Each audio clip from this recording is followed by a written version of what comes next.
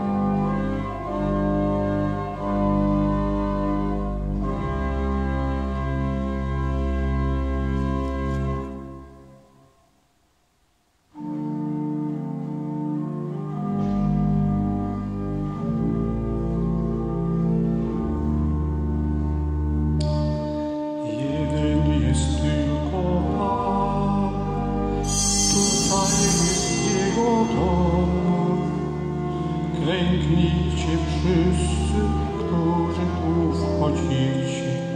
i razem